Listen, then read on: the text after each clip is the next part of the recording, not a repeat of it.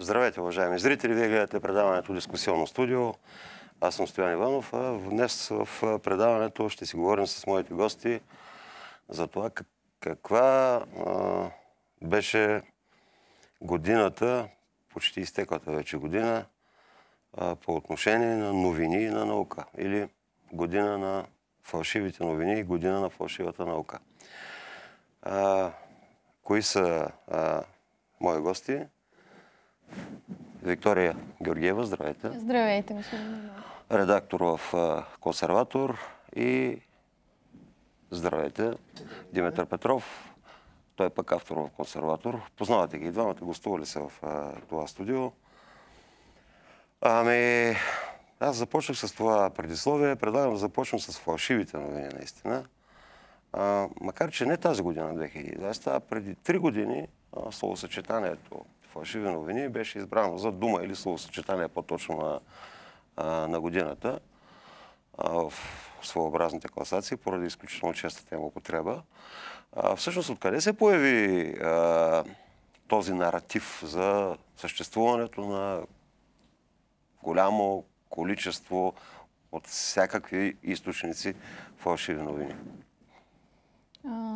Съчетанието фалшиви новини не е нещо ново и непознато. Ако трябва да се върнем много назад в историята, още по римско време има твърдение, че имало така инсинуации и фалшиви новини, които са играли роля при разпределението така на владетелски позиции, но с века, който живееме, информационния век и технологиите, непрекъснатото развитие, за съжаление наблюдаваме а, паралелно с а, невероятното удобство достъпа до всякаква информация и източници, засилване непрекъснато на фалшивите и новини на източниците, които бълват, а, подозрителните източници, които бълват различни инсинуации. А, така, тази година конкретно, тъй като споменахте, може да я свържаме и с ситуацията покрай коронавируса, която още повече така активизира вече в съвсем опасна посока различните новини, които излизаха, че това е някаква разработка тайна на ЦРЛ вируса, че нарочно е пуснат и така нататък. И различни безумия, свързани с 5G и да не продължавам общо, заето всички ги знаем. А, за съжаление, това е неизбежно. Няма как а, да бъде изцяло предотвратено. Винаги е имало и ще има фалшиви новини. Въпросът е дали може да се постигне някаква регулация, както, например, предложиха ВМРО тази година. А, За България по, конкретно говоря. По този повод една лелка, живееща в чужбина, а, написа в един сайт, който се прочувства изключително истинската новина, че журналистката от Русия е била убита mm-hmm. заради своя разследване. Картинка от лаптопа, колеги. Фалшивата борба с фалшивите новини е изключително трогателно, когато автори на едни от най-гнусните фалшиви новини се представят за а, радетели на, за истинска борба с фалшивите новини. В тази, в тази връзка можем да си представим те, кое разбират под истинска новина, да всъщност. А, защото тяхната клевета, лъжа, стига до европейските институции, стига до международни журналистически организации и една от тях, която след този гав, който е пореден, но този беше грандиозен, смятам, че не се заслужава въобще да бъде цитирана вече, да бъде смятана за какъвто и да е източник на, на сериозна информация, именно репортери без граници имам предвид, с тяхната класация за 111 място на свободата на словото в България. А, да, една от тях дълго време държа лъжата на сайта си. И въпреки, че многократно и беше писано, включително аз съм и сигнализирал на тази организация, че фактите са други. А, свалих новината, после пак го качи в някакъв техен анализ, спомена случая. А, и в тази връзка, а, тук вече и госта искам да включа. А, Фалшивите новини винаги са били политическо оръжие. Като споменахме за коронавируса, как е създаден от ЦРУ, аз изпълням, че и Спин беше създаден от ЦРУ, според авторите, които пуснаха тази новина, през, между другото, обаче, западни вестници и медии от развиващите се страни, авторите бяха в Съветския съюз. КГБ и ГРУ на новината, че Спин бил създаден от ЦРУ, нали, и така нататък. Казва се, че не, разбира се но те не излязоха официално с името си. Днес, в каква степен фалшивите новини се използват за политическа битка, господин Петров? Първо, фалшивите новини винаги са съществували, просто до неотдавна се наричаха слухове. Само, че а, все пак има разлика между слухове и фалшиви новини, тъй като обикновено разпространителите на слухове не им се а, държи отговорност за достоверността на това, което разпространяват. Докато поколения наред хора израснаха с мисълта, че това, което се публикува в медиите, това, което се каже по телевизията, по радиото, това, което го пише във вестника, е а, абсолютно и наистина проверена истина. Което дълго време на практика си беше така. И а, в а, периода на а, тоталитарната комунистическа диктатура, когато естествено властта следеше много внимателно какво а, се публикува в медиите и в предкомунистическия период, когато а, нали, властта също имала ангажимент най-малкото да проверява за достоверност, да не се а, пускат абсолютни небивалици по вестниците, то а, хората не, а, някак си приемаха винаги за даденост. Щом го казват по телевизора или по радиото, щом го пише във вестника, значи е така. А, до голяма степен това беше а, валидно и в а, западния свят, а, въпреки че там естествено свободата беше по-голяма. Само, че с развитието на съвременните технологии, интернет, социални мрежи и така нататък, се озовахме в поредния момент от така, човешката еволюция, когато човечеството се оказва неподготвено за а, настоящия технологичен бум. Както, примерно, ако дадем едно сравнение, че днес медицината е несравнимо по-напреднала, отколкото е била а, по времето на Хипократ, то за същия а, период философската мисъл не е напреднала в сравнение с Платон и Аристотел. Да не кажем, че в последните години по-скоро е назаднала. И, а, аз хората... имам още един въпрос. Вие много теоретично подходихте, но аз искам да ви призема да ви върна в България. Добре, как стана така, че едно от отровните лица на протеста а, всъщност е а, свързан, и то с доказателства свързан с най-гнусните сайтове за фалшиви новини в България. Не, че няма и други гнусни сайтове за фалшиви новини, но неговите са класика просто в, в жанра. А, и тези фалшиви новини бяха за всичко, за всякакви политически опоненти, които искаше да оплюе. Той не само от ГЕРБ, от всякакви партии, които му паднат. А, разбира се, имаше изключения, определени партии, там се, се пуска фалшиви новини, обаче в тяхна защита.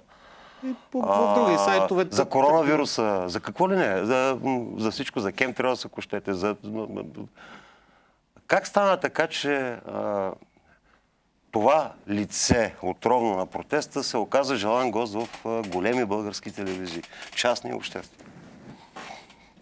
Ами, той се оказа а, чест и желан гост благодарение на статута си на един от неформалните лидери на този протест. И двамата сте колеги, и двамата сте колеги въпреки... журналисти. Бихте ли поканали на по-сериозна тема а, да, да, да говори такова лице, за което го знаете, с какво се занимава? Аз не бих. Категорично не. Ами, имаше една песничка, която е рефрена беше хигиена нулева. Mm-hmm. И в тази връзка, а не сме ли ние журналистите, не вие тримата, ние двамата и аз тримата, де, не сме ли сред основните автори на фалшиви новини в такъв случай? Когато истината се превръща не в нещо друго, а в въпрос на гледна точка. На една телевизия даже това и беше девиза доскоро. Да. А, Всяка гледна точка. Да, да, от всички гледни точки. Чакайте бе, хора. Гледните точки са важни, ако спорим за това а, дали ни харесва прическата да. да, на гостинката. Да, но когато говорим за факти, научни факти, няма гледни точки. Има научно доказани факти. И не, понеже някой малумник е решил, че на него не му харесва факта, че Земята е с форма на сфера, сфероид по-точно, и Земята е плоска, той също всички гледни точки трябва да го пуснем по телевизора да ни обяснява, че е плоска. Да, за съжаление, още нещо се наблюдава в последните години. Така, до преди 10-15 години беше много по-лесно да се различи фалшивата новина. Едно от условията беше да е от анонимен източник, освен това да е с много гръмко заглавие шок, ужас и така нататък. А, в последните години наблюдаваме нещо друго. А, медии, които претендират да са невероятно сериозни, да се върнем към България, например, Дневник, Капитал, Клуб Z и така нататък, също излизат а, с, особено покрай наближаващи избори, с така много по-шокиращи заглавия, които целят да привлекат по-голяма аудитория. Вътре всъщност четеме, че няма нищо общо с това. Ето аз даже бях записала и в статията, бях упоменала точно покрай а, ВМРО, а, за което беше за децата сега, последните пъти покрай... Само момент, че съм си отбелязала да кажа точно няколко. Така, ВМРО се прицели в децата. Това звучи като заглавие от жълт вестник, но е в капитал. Дневник, пък ВМРО ще отменя закрилата на децата в риск. В централата ли ще си ги гледа? Това е в дневник. Това а, звучи ли като заглавие на сериозна медия? По-надолу има изказване, че всъщност заради ВМРО тези деца ще бъдат подложени на риск за живота им. Сега НФСБ и ВМРО са редовни а, обекти на такъв Да, тип да, критика в точно. а, Но То това не е обаче в и критика всъщност. А, Критика едно, това са съвсем манипулативни, тенденциозни невероятно преувеличени заглавия. И за съжаление, тези медии разполагат със сериозна сравнително интелигентна аудитория. Много хора прочитат заглавията и остават с това впечатление. Е, значи ние имаме интелигентна аудиторията. А, никога, да. не, никога не си прави, никога не си прави изводи само по заглавието. Претендира, да. А, нито по те наречения елит. Четете, Да. ли, четете ли коментарите обаче отдолу? Чета ги, да, напоследък а, много сериозно са ги захапали. Естествено. И четящите, да, което ми прави много добро впечатление. Преди години беше така безапелационно страхотна статия, поредната страхотна статия. В момента вече тенденцията е поредната глупост, усетете се какво пишете и така нататък. А, аз си спомням преди десетина дни поредната словесна полюция на а, онова лице, синчето на кореспондента на работническо дело по тоталитарно време в Лондон. А, професор, професор е, е, Евгений Евгений Дайнов. Дайнов, А, така, да. Този номенклатурчик, който е писал дисертацията си към института, към ЦК на БКП за а, комунистическото движение в а, комунистическата партия във Франция и проблема с политическите съюзи. Този борец за демокрация беше написал потрясаваща с глупостта си статия за Югославия, за Тито, за Тато и така нататък, която разбира се защитаваше югокомунистическата коминтерновската позиция. Отдолу обаче коментарите го, просто го бяха разстреляли. 80 на 100 от коментарите, разбира се. Сега, тънкият момент е, че а, в тази статия формално не е фалшива новина, тъй като все пак авторът се опира на а, исторически факти, на Кара, цитати карате от... ме да си, да, да си припомня един момент от статията, над който много се смях. Да, а, със сигурност... Лицето, лицето професор твърдеше, че а, Тито е останала единствената сила, която се съпротивлява след германската окупация и като такъв е припознат. Това е скарано с историческите факти. Югославската комунистическа партия започва активна съпротива в Югославия, както впрочем и в България, след нападението на а, Съветския, Съветския съюз. Започва, тя започва края на лято, началото на есента съпротива. А пък още през април месец Дража Михайлович а, събира войници офицери от нали, разпадналата си югославска армия и започва борбата. Тоест и, и, и, и, като фактите, този човек сам по себе си е една фалшива новина. Основ, основната манипулация обаче тук е друга. Макар по-голямата част от фактите вътре да, са, а, да представляват историческа истина относно личността Тито и оглавяваното от него съпротивително движение и в последствие същият като а, лидер на Югославия, то а, манипулацията идва от другаде. А, че Самата статия е в отговор на изказване на външния министр Екатерина Захариева а, за сравнение между Тито и Хитлер. Ами, доколкото разбра, госпожа Захариева сравнява Тито и Хитлер не а, от гледна точка на това кой какво е вършил по време на Втората световна война, а от гледна точка на държавни а, профилите им като а, държавници, партийни държавни лидери. Диктатори и двамата. И то а, доста сходни. А пък а, Това, че И то наистина- доста това- крови извършили големи репресии че- срещу собствения си народ. Това, Това че, е извън да, войната. Да, това, че наистина... Да, в действителност, а, а, дали в мирно време, преди 39-та година в Германия и след 45-та в Югославия, репресиите къде са по-многочислени, това също е интересно да се а, Процентно съотношение в Югославия. Да. А, Говорим вътре в Германия, не навън. да, нали? да, Избиването и- на и от евреите гледна- и от гледна на- точка на и така нататък. нали? политически противници в мирно да. време. Но а, все пак а, ставаше дума не за а, това какво, а, кой какво е правил кой на кого е симпатичен. Да, факт е, че а, Тито е бил симпатичен на доста западни лидери в периода на студената война поради едни или други причини. Знаем ги много добре. А, знаем, че Адолф Хитлер е бил а, демонизиран след края на Втората световна война. Това, което се пропуска е а, отношението към него на мнозина западни лидери преди началото на Втората световна война, но това е вече доста неудобна тема.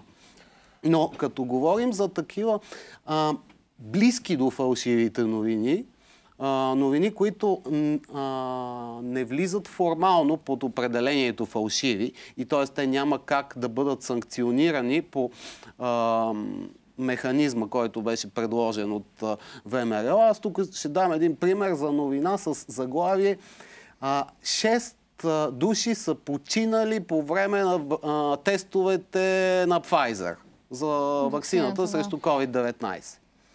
Фактите се оказва, че наистина 6 души са починали по време на а, тези тестове. Само, че четирима от тях са били в плацебо групата и не са били инжектирани с вакцини. Тоест те не са вакцинирани. Петият а, е починал от, забравих нали, точно конкретната причина, но тя по никакъв начин не може да бъде свързана с вакцинацията. Дали е катастрофа, дали е м, а, някаква болест, която... Е, да, има един шести. Да. И, а, ше, и шестият, а, още преди вакцинацията е имал придружаващи заболявания, т.е. не е сигурно дали а, смъртта е настъпила заради вакцинацията или не.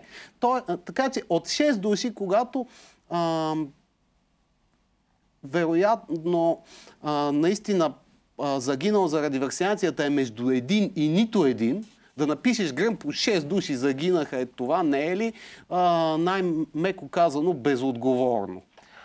Да. И ако искате обаче, за да затворим темата, тъй като ни понапредна и времето, аз ви намекнах в един въпрос, но пък от друга страна не се ли превръща войната срещу фалшивите новини в нещо друго? Опит за цензура, включително политическа цензура. Наблюдавахме такива неща в Съединените щати. Аз съм далеч от мисълта, че а, все още действащия президент а, на Съединените щати Тръмп не хвърляше сензационни, понякога противоречиви, че понякога даже и фалшиви твърдения. Но ти да спираш а, излъчването на държавния си глава, изявление на държавния си глава с, с из... твърдение, това е фалшива новина. Да цензурираш постовете му, а той е политическо лице. Нали, да цензурираш постовете, ти да ги цензурираш постовете, а не да ги коментираш. Да кажеш, това твърдение не отговаря. Не, ти го спираш. Това, извинете, защо толкова много ми напомня на тези мощни е, кули, с които заглушаваха на времето е, Радио Свободна Европа, Гласът на Америка и прочее. Страх беше. Не, те не искаха да излизат да ги опровергават. Не, не, не. Те ги спираха. Ами, след като а, преди няколко години се разкри, че една а, високотехнологична корпорация, именно Google, а, се опитва да денонсира Конституцията на Съединените щати, в която е записано, че народът на Съединените щати е суверен и той избира президента на САЩ. Тоест Google на практика се опита да предреши президентските избори, манипулирайки търсачката по такъв начин, че новини, удобните новини да излизат по-нагоре за сметка на неудобните. То един друг технологичен гигант, Twitter, пък а, директно цензурира президента на Съединените щати, за, за който се приема, че може би ако не най-влиятелната личност в света, то в, в топ 5 на най-влиятелните. Не, нека да включим Виктория в разговора. Моят въпрос е друг. Не става въпрос за колко е влиятелен на човек. А, става въпрос за, за, за следното нещо. Той е политик. Официално лице е на висока позиция. И като политик, разбира се, в, рамките на своята предизборна или пропагандна борба, той има свои твърдения. Когато а, ти си медия, и, и така не учиха на времето. Учиха ни, между другото, по правилата на Associated Press, която се превърна в... Не искам да слагам определение. Но тогава имаше железни правила. Ти го пускаш, особено когато това послание е силно, скандално, пускаш го. Правиш факт-чек, проверка на български. Хубава българска дума проверка. Няма нужда от проверка, факт-чек. Установяваш, че този човек е излъгал. И го коментираш. Слагаш, заставаш, казваш, аз, Димитър Петров, проверих фактите и се оказа, че тук, тук, тук президентът е спестил истината, тук и тук откровено е излагал. Но не го спираш. Това се опитах да... Как, как, да, Да, за съжаление... какво се превръщаме? Фалшивите новини, борбата с фалшивите новини като, като опит за тотална цензура или какво? Да, върви се по много тънаклет. Има определени опити за така тотална цензура. По-скоро в чужбина при нас не толкова все още, но а, общо взето... А, при нас има тотално беззаконие, извинявай, че да, смятам. при да, нас да. е Всеки тотална може да лъжи да клевети на едро. точно да, така, да, за съжаление. А, има го това, но общо взето това зависи много и от нас. Потребители така, в момента не като журналист говоря, ами общо взето тези, които четеме а, и слушаме различни новини, защото, както вие казахте в началото, общо взето хигиена нулева. А, Предлагам, тъй като колегите ми дават знак, че сме пресрочили вече времето, ние сега ще имаме едно кратко прекъсване за актуални новини и ще продължим с темата за фалшивите новини, така ще я свържем с фалшивата наука.